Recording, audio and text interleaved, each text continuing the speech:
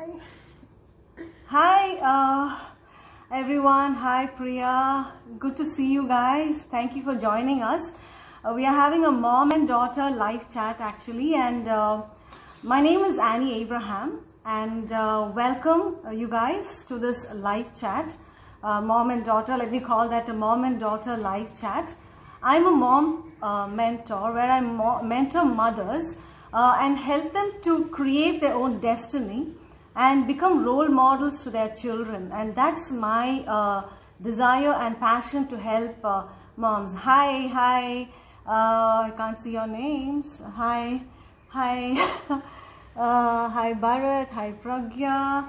Uh, so, uh, why am I doing this interview? This is my daughter Hannah Abraham, and why am I doing this live chat? My, this is my first live chat on Instagram. So, why am I doing is th- this one is because uh, I feel more comfortable, and my daughters have been my teachers and my inspiration, and the reason I'm here is because of my daughters. So, I thought, why not start this Instagram live with my daughters? So let me welcome, and I'm really honored to have my younger daughter, Hannah. Um, so Hannah, welcome to this live chat, and uh, uh, you can say something about yourself. Okay, so I'm Hannah, as you know, and I'm in 12th grade. I'm in 12th grade and I'm a homeschooler. Uh, we've been homeschooling for over a decade now, and it's really impacted me a lot, so we'll be sharing about that. Um, I'll just share like my likes and dislikes. My likes are like anime, K-drama, people who are very inspiring, listening to TED Talks, Ed Mylett, Terri Savelle, listening to all those people are one of my likes. And my hobbies are drawing and writing poems and novels. So yeah. Wow, that's great. Um, so uh, you said that you know uh, you're, you're in 12th grade, right? Did you share that to everybody? Yeah, I did. Yeah, okay. She's all she's been homeschooled, and this is her last year of being homeschooled. And uh, I just basically want to bring an awareness to uh, all the mothers as well as students, you know, because many of them don't know what homeschooling is. Mm-hmm. Uh, they are into homeschooling right now, but I want, It's uh, online, yeah, yeah. I want to help mothers and basically parents to al- understand what homeschooling is. So, um, why don't you say, say something about homeschooling and what has homeschooling helped you? How has it helped you? Okay, so before I tell how it's helped me, I'll give a backstory. So uh, when I was in like uh, in school before we started homeschooling, I had a lot of uh, dyslexia. I didn't know that yet, but I had a lot of hard time reading and writing. I ha- I hated books at that point, and the teachers used to always point it out, and my self esteem was very low at that point. So I hated going to school. Like if I could, I would like fake illness and like avoid it because the teachers and also the students used to point out that I had really bad uh, read. I couldn't read and couldn't spell, so it was really hard at that point. Homeschooling, when we started homeschooling and my mom pulled me out of school at third grade, homeschooling helped me fall in love with books. So when we started, mom introduced us to books. And then you told us that readers are leaders and leaders are readers. And I wanted to be a leader in my own life. And when I started slowly, I started falling in love with the books. So the curriculum we were doing was uh, every uh, year there was a different region we were going to learn about. So that region would have fiction and history books. And I would just fall in love with each country through the books. And that just helped me with my dyslexia. And it's gone a lot better throughout the years.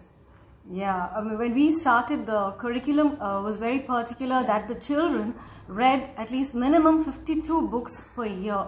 And in fact, that time, reading a personal development book for me was a challenge for me. Even reading one book per year was a challenge for me. And when my children would come, finish, like I had to read 24 books for them, and the rest of the books they had to read, 28 books they had to read.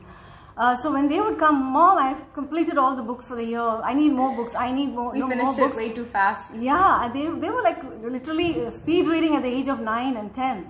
So I thought, you know, uh, I have to build my library, and that's where, um, you know, uh, reading and inculcating the habit of reading more and more uh, started. And uh, I'm, you know, grateful that homeschooling gave uh, us as a family, uh, uh, you know, ha- habit, built us a habit of reading. And now I like love books so much. I cannot go on without reading books now. Yeah. And uh, Hannah, who is your your role model, and who is the first person who inspired you?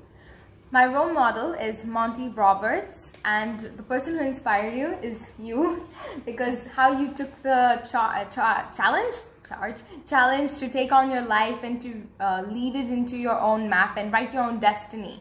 It inspired me, and also the fact that you took me out of school, but that inspired me to um, in- inspired me to take charge on my own life as well. Wow, that's great. Uh, can you share how Monty Roberts inspired you and what has it done in your life? So actually, before I tell about Monty Roberts, I'll first say how I found how I like found him. You could Yeah. say so. Um, it was in second grade, and we were supposed to uh, give stories and like knowledgeable stuff before um, break. So mom had given a story uh, she found on um, Monty Roberts from Facebook, and she gave it to me to read. At first, it never like clicked, but when I read it in break at the break, and I was like, wait, this guy, he's kind of like me. I mean, he didn't have dyslexia or anything, but he uh, he went through uh, a lot and the teachers also pointed it out. So uh, the teachers had asked him to write down his dream. And then he wrote down a 200 acre horse ranch. He wrote it seven pages long and he wrote how he wanted each thing to be. And he handed it out. The next day when they were handing out the papers he had a big fat f on his paper. And the teacher said see me after class so when he went and met the teacher, the teacher said, How could you dream about this? You're just a boy living in the trailer and your father's just a regular horse trainer. How can you expect to do anything great in life? How can you expect to do anything amazing? How can you, a boy who's poor, do anything and achieve his dream with such little money? And then he went home and he told his dad about this. And his dad said, Do whatever you want. So he went back to the teacher and gave uh, put the paper down and he said, "You keep the F and I'll keep my dream." Years later, he um. Oh yes, yes, yes. Years later, he uh when he has his 200 acre horse, you can you can go online and check him out. He has an amazing horse ranch. So uh, the teacher who had uh, told him told him to give up on his dream was coming in with some classes and they were showing around the horse ranch and the teacher was kind of apologizing and saying i'm so sorry. And to this day he actually has the paper that has an f. It's framed in his office. So that inspired me and it told me that i can dream big. I can dream 200 acres big. I can dream over and above about who i am. Dyslexia doesn't have to stop me. It doesn't have to stop me and put me in a box. So yeah that inspired me Yeah, it doesn't matter, you know, what stage your children are. It doesn't matter, you know, marks are very important. Getting good grades is very important in every family. But I think we should uh, look deeper on how we can groom our children because our children are our future. And that's what I want to point out. You know, children, uh, we are raising leaders. We are raising doctors, engineers, lawyers. We are uh, raising real estate moguls. We are raising uh, life coaches. We are raising uh, politicians to you know lead great countries, to be big leaders, great leaders. And uh, I think it's time for us to step up and become role models and build legacies. Even if uh, we are not married, why not step up and educate and help a child to uh, dream bigger and uh, give a book, hand a book into their hand and say, start reading because readers are leaders. Yeah? yeah Okay. Um, what does unstoppable mean to you? Unstoppable. Okay, unstoppable. What does it mean? To many people, it can mean different things. I think unstoppable is having a passion that can never be broken. It's like kind of like a train. When you get on a train and it keeps going, even a wall cannot stop it. That's being unstoppable. And having passion and being a just being unstoppable is okay, I'm being awkward. But being unstoppable is um is having a passion that can never break and always even when you're falling and hitting rock bottom it's about getting up and not letting the walls break you instead you push forth and break down the walls instead of climbing over it Oh yeah, I mean, this is what I've been learning from my children, guys. You know, anytime when I've been feeling low or down and feeling like giving up, my children have been always helping me to rise up and move forward and break every barriers. Yeah, so thank you for that answer, Hannah. Thank you so much. Um, so yeah, I mean, many of them would be uh, wanting to know, uh, you know, uh, how much time would you be spending every day on your personal and spiritual growth? Okay, so spiritual growth is a very important part of my life because I'm a Christian and spending time with God always makes my day and makes me joyful and gives me the energy I need every day. So before, after exercising, uh, we always, I always go to my room and the first thing I'll do is I'll pray, I'll read the Bible, I'll spend time with God and I'll listen to like a small message of uh, and worship. So that'll be like taking 25 to 30 minutes. That's my spiritual thing. And also, I also spend time when I'm speaking to God. I also make sure to keep quiet and listen to Him so I know what He's saying and what He wants for me to do in life. My uh, personal growth is more like 40 to 50 minutes. So, or I listen to Earl Nightingale, uh, The Strangest Secret, which is over 25 30 minutes. Yeah, 30 minutes. And then I read two books. One is for spiritual and one is for physical, uh, physical, uh, personal. personal growth. uh, one is for that. And I spend like um, about 10 minutes each. And then I will uh, do affirmations that help me build myself up. I will look in the mirror and I will tell myself, you can do it. So then that is for me to be like, I can go after my dreams. And then I will uh, spend time like thinking and just like staying in silence. So I get new ideas. I get um, ideas for like um, how do you say it? I just for like For for my books, for art, or like for um, like you know future ideas that can bring in money, generate income, that kind of thing. So that's how much time I spend. Like so, altogether it would be like more of an hour, one and a half hours together. Yeah, I can't see any of your names here, but hi everybody, all those you know who've joined us. Thank you so much for joining us and welcome once again. So I hope you're enjoying this mom and daughter live chat, and I'm sure that by the end of this you'll have a takeaway. Yeah. So uh, why do you think, Hannah, that uh, dreams and goals in life are important? Okay, so I don't know if you guys have heard this, but there's a scripture in the Bible. It says that without vision, people perish. It's basically the walking dead, walking around without any. When you don't have a goal in life, you're basically walking dead. It's like uh, died at six, uh, died at 30, buried at 60. You don't want to die at 30 and be walking around as a waste of space. I don't want to be harsh, but I'm just saying that you're basically taking in air that people could be using to generate the earth better, to make the earth better. And I find that having dreams and goals is not only just for yourself, it's for the people around you. I'm reading a book, it's about connections. Why are there cities? Cities are there so people can connect and build each other up. Having dreams is not only for yourself, it's also to make jobs, it's also to make a better future for everyone. So I feel like dreams and goals are important because you're not only making your future better, you're making everyone else's future better. So there's a lot of uh, many of them are you know many of my friends on uh, Instagram are all you know uh, really cheering you up, and some of them are saying that you're a natural, and they Thank just you. love what you're saying. Thank you. Yeah, so I'm glad that you know you are my first guest today. yeah. So uh, is there anything you would like? This is the last question, and uh, is there anything that you would like to share to everyone here, to the mothers, to the students, to all the women uh, in, on uh, my page.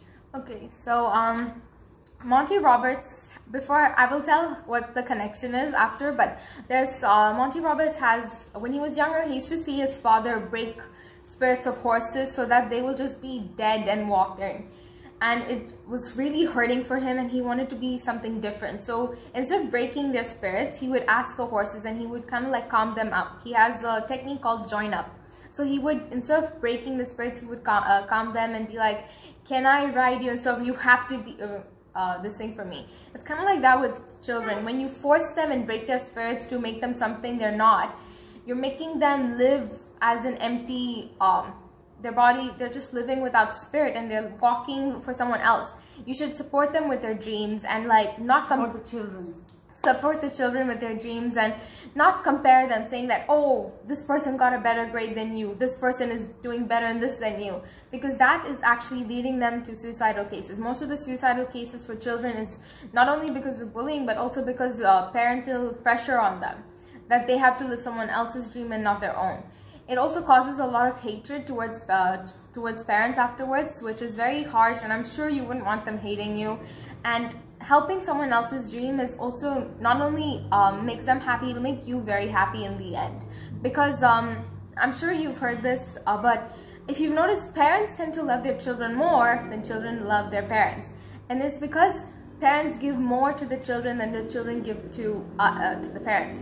And when you give more, you end up loving the person more than usual. And I feel like if you love them a lot, you should support them with their dreams and help them uh, move on, encourage them. Because when they come back from school, teachers are not really the nicest people. There are some amazing teachers out there who I salute, but there are a lot of uh, teachers who will point out flaws and like compare them to the good students when they're not them uh, when uh, they're feeling really low and i find that parents are the only safe haven that children have and they come back home tired and discouraged and parents should lift them up and encourage them to do whatever they need and I find that parents should be supportive, which I'm sure many of you are, but I encourage you guys to be more supportive of your children and be more supportive of their dreams and encourage them to keep moving on and like fighting for their dreams. So that's one thing I will definitely advise. Yeah, I just want to add that Hannah was saying about teachers, you know, I, we respect all teachers and teachers are, are amazing because even parents are teachers. Yeah. And, uh, you know, to all the teachers in the world, we salute you. It's just that parents also have to take the responsibility at home because uh, what happens is we send our children and give the responsibility in school to the uh, to the parents so it's important that we sorry to the teachers yeah. so when they come back it's very important they we take the responsibility and uh, you know groom and train our children in a way to raise them as great leaders so thank you hannah for yeah. you know such an amazing uh, time that we've had and uh, I'm sure that many of you have, you know, uh, just do comment below and write what's the takeaway that you had for today. Something that, one thing that you learned from Hannah. Because even now when she was sharing, I was like, wow, you know, I'm learning something. Every day, uh, I remember, I'm just adding a few things. When uh, we st I started training them to do personal development. And uh, they were just, you know, 8 and 10 year old kids. And uh, they would I would tell them okay you read two pages and come back and tell me exactly what you did and then start living it. Because when I started raising them I one thing was very important that you never uh, speak a negative word. There's no uh, negative words a negative mindset was not allowed at home so that was a no-no at home at all. So uh, I would tell them to come and tell exactly what they learned and they that's how they started um, building their self-esteem and growing up in their personal uh, life especially. So I would advise, you know, each one of us to uh, start growing, take up, you know, your spiritual life seriously, your personal life seriously and start growing, start reading, start uh, listening to great speakers, uh, start listening to your role models, exactly what they are teaching you and follow that and I'm sure that, you know, by the end of uh, 20, uh, 30th, uh, 31st December um, 2021, uh, you will see where you reach. You'll be a much better person, a much better version of yourself.